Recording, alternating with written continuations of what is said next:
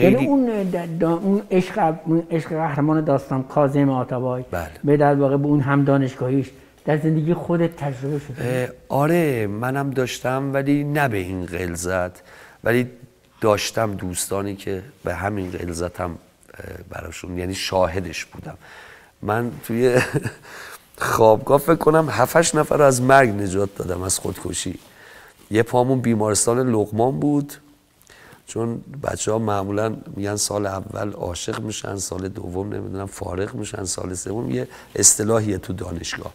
بعد خیلی از بچه ها که از شهرستان می اومدن با حال و هوای خیلی صادقانه و احساسات پاک می اومدن بعد رقابت رو می باختن به کسی که فکر می‌کنن می‌کردن حقشون نیست ببازن. اصلا خیلی کوچولوه ولی به شدت زنده و واقعی بود. و فکر می‌کنم من آتابای کم ندیدم توی لاقل اون فضایی که خودم تجربهش کردم.